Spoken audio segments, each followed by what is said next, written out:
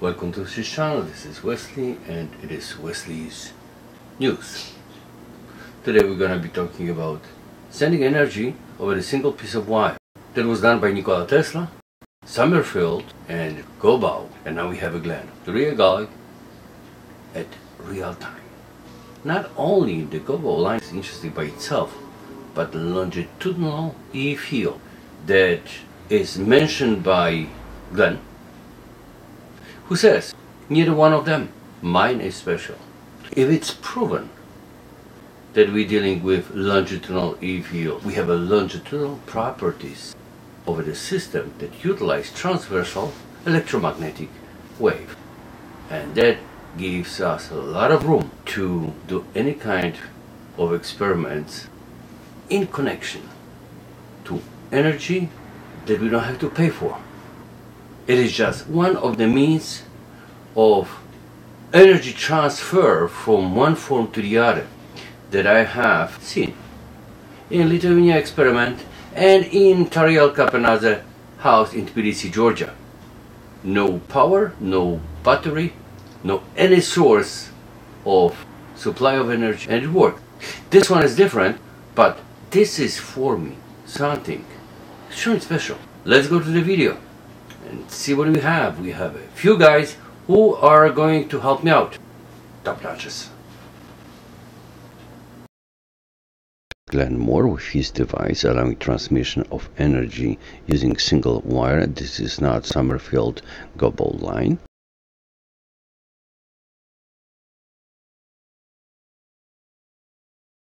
However, it is similar as it is similar to Nikola Tesla transmission of energy using single wire.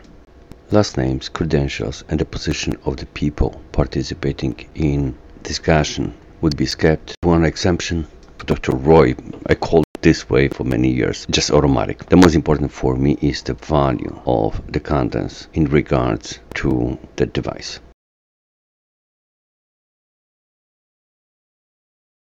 He's done experiments with a single wire transmission line. Some people call it a G line or a Goubau line. Goubau lines pronounced in various different ways. Um, it's a classic kind of transmission line that was studied, I believe, in the early 40s, where you could literally take, uh, say, for instance, a piece of RG8 coaxial cable and strip away the outer uh, polyvinyl jacket, strip away the outer braided shield, leave the polyethylene insulation, and leave the semiconductor. That single wire transmission line with a layer of dielectric material, if you have the right kind of conic, uh, low, uh, conic launching structure on the input end of that single wire transmission line, and if you have a single, have another kind of of uh, launching structure that looks like a great big cone with the wire going down the center as the receiving structure. Uh, the single wire uh, G line is a rather low loss microwave transmission line. The good news is that uh, it has relatively low loss. The bad news is you've got to be careful how you suspend it, sort of like a great big catenary. You don't want to make any sharp bends in it, otherwise it'll start radiating at the bends. And the individual cones that do the launching and receiving, uh, they're not perfectly well shielded. If you uh, if you had nearby um, sensitive transmitting or receiving equipment, you would get some interference from a G line because it's not a thoroughly shielded structure. Coaxial cable is a very well shielded structure.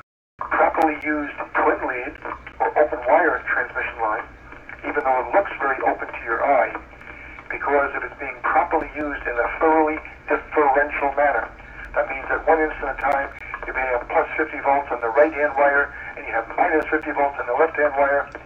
As, as open as that looks to a radio wave that's an extremely well shielded structure because of that balanced, fully differential characteristic. But in the case of a G line, there's only one wire there, it is nowhere near as well shielded.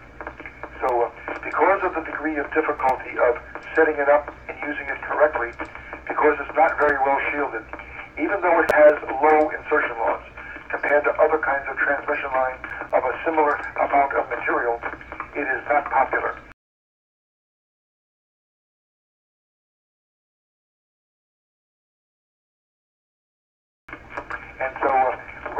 Set of experiments in which he measured the insertion loss of uh, something like 100 or 300 feet of this line. And uh, when he comes to calculating the insertion loss, he came up with a very low number as he swept from something like 100 megahertz up to 1,000 megahertz. But there's a catch. In his calculation and measurement of what he thought was the insertion loss of his single wire transmission line, he, he believes has a transverse magnetic, not a TEM. By the way, when you feed a signal into coax cable, it is a TEM signal. When you feed signal into twin lead, it is a TEM signal. When you feed a signal that you transmit into free space, it is a TEM signal. When you see and you feed a signal down a single wire transmission line, I think he calls it a transverse magnetic. In other words, there's an E field component along the wire as far as explaining the transmission itself. But what I was getting at is that he ran this experiment, and as he swept it from roughly 100 megs to 1,000 megs, he came up with a relatively low insertion loss. That makes it look very desirable, but there's a catch. He assigned, he, he didn't measure, he assigned roughly 2 dB of loss for the launching structure and roughly 2 dB of loss for the receiving structure. And I've got a problem with that. Because the launching, launching structure out of low resist, low loss materials, solid piece of copper sheeting, so to speak, so to speak, where in the world is the 2 dB insertion loss coming from? He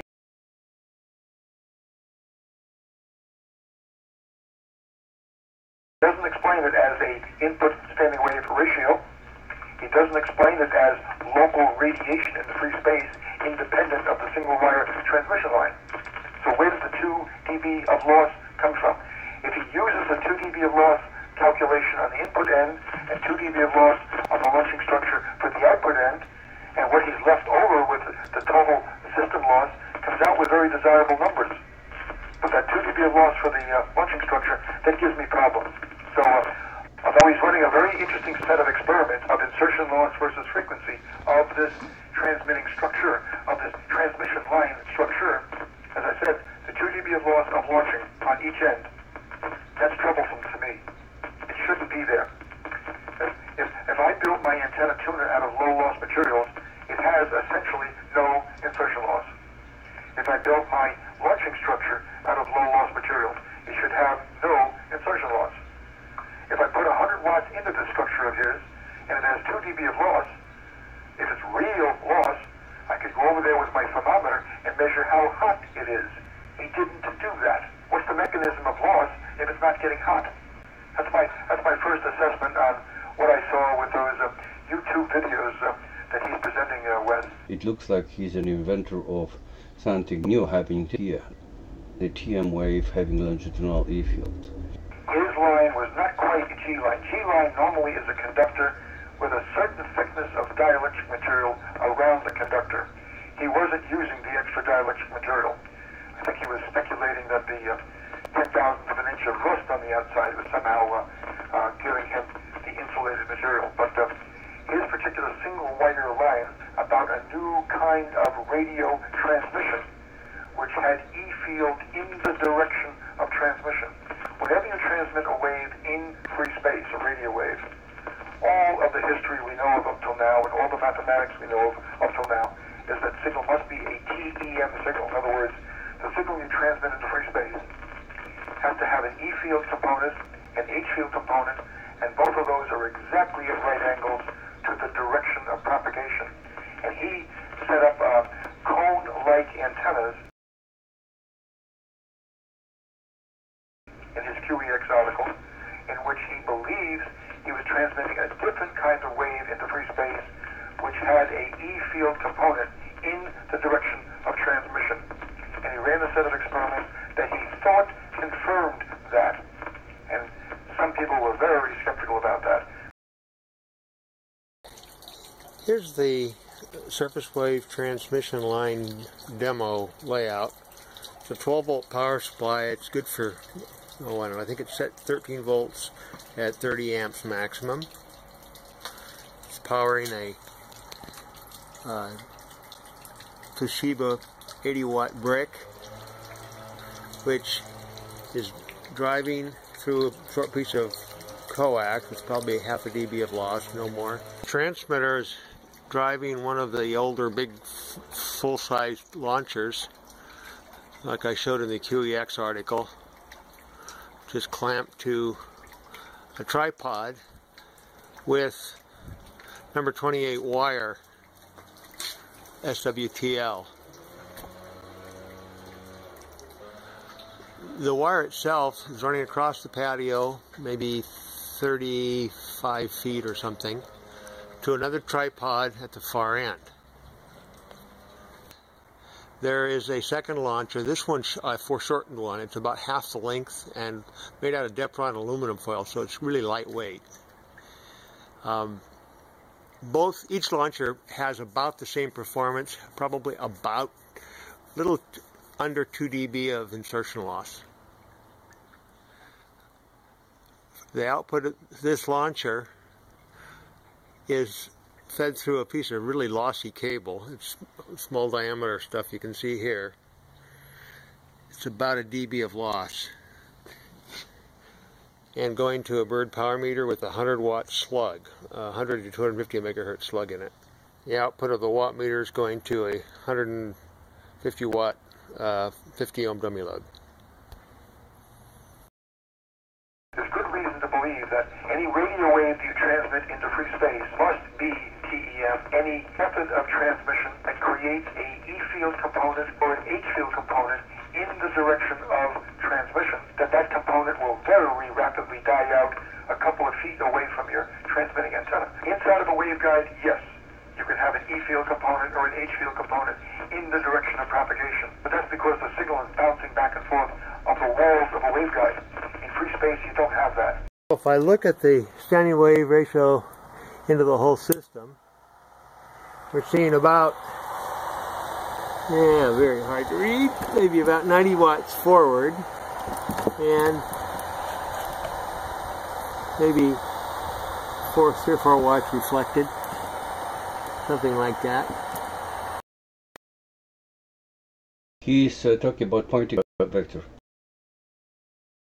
The word Poynting vector is E crossed H, where E and H are at right angles to each other and at right angles to the direction of transmission.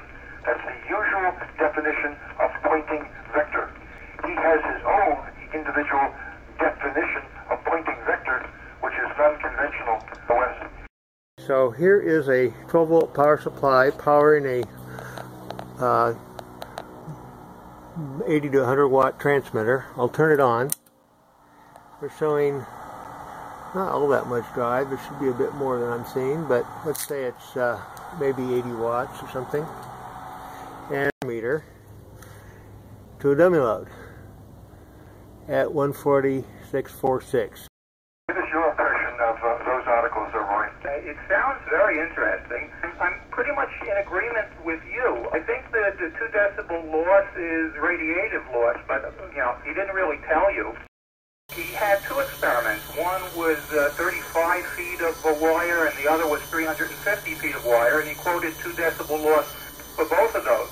So the inference is that the uh, wire itself isn't producing a great deal of the loss. So whether it's radiative or resistive, I, I don't know, and he didn't mention. And I agree that the Poynting vector is, is not the same as uh, a magnetic field or an electric field. It's uh, longitudinal. Well, probably about 40 watts in. I don't know, maybe a little less. Both the regulator, the uh, rectifier and the regulator are just warm, not even warm to the touch. There's that airflow. How about the behavior of TM modes? That's in waveguides, I'm sure, but I don't know about uh, this line of, of the gentleman. Maybe an air surrounding acts as a slowing medium. And maybe as he goes further with his experiments, some of these extra uh, loss characteristics maybe will be explained. I wonder if you agree with me, uh, Roy. You know, air has some degree of a dielectric, so couldn't you say that it's just a peculiar case of a G line? My understanding of G-line, uh, Roy, is that there's a certain required minimum thickness of a certain dielectric wrapped around the wire, there's a certain minimum requirement for that dielectric material to contain the wave that travels down the G line. Dr. Roy, please. Yeah, so I just assumed it was part of his launcher array that you know, he, he tells people that this is the mechanism from shifting the coax from TEM mode to TM north north mode. Yeah, he's proposing some commercial aspect of high bandwidth uh, data transmission on power lines using this technology. It's George. Sooner or later, if that were to occur, somebody's going to be in your home, at a party, at your house, standing next to your refrigerator, and coming up with something to hack your computer. I, I assume what really in- interests you is the longitudinal aspect of the uh, electric uh, field. Uh, I, I'm thinking that you you want clarification for the transverse uh, magnetic uh, mode explanation. That would be my guess. That would be good guess. Wes, do you believe he has an explanation? I believe he has. But for that, we need him to uh, state it.